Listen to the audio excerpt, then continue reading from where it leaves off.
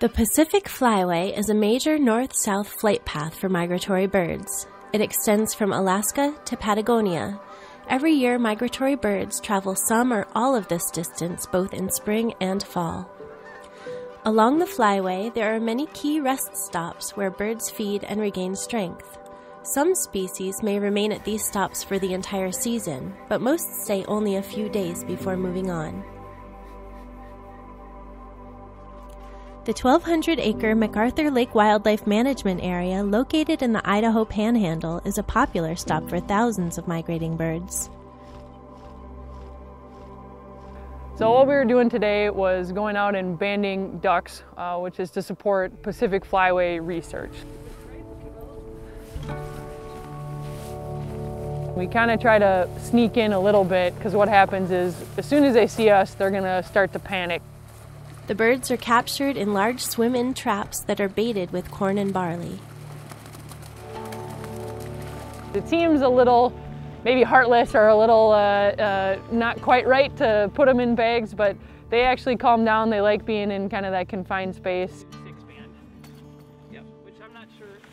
They're pretty, they're pretty drab right now.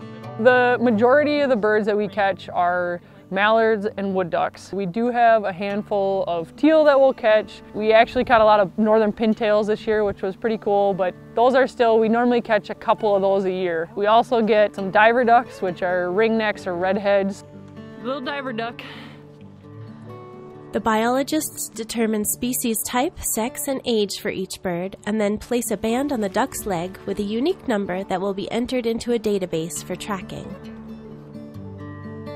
these white uh, bars on the bottom here is another distinguishing feature that on the male it's kind of straight across and on the females they end up being a little more teardrop shape.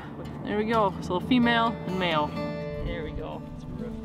Looking at the tail feathers, these are nice adult feathers. Once banded, the ducks are released into the wind to continue their migration. Female wing has a little This one's kind of got him coming in. These nice brown feathers, but he just hasn't quite grown them in yet. Yes.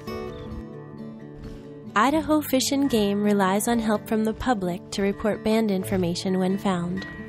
How that works is when we put them on, like we did today, then when they get harvested in the fall time or if there's an incidental death and someone finds them, they can call the number on the band and report where they were found and so it's able to track uh, movement uh, and migration.